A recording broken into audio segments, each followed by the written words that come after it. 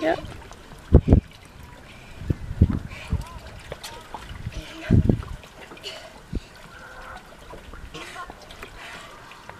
This would be a good lake to learn to sail on. Mm hmm Bye, Kate.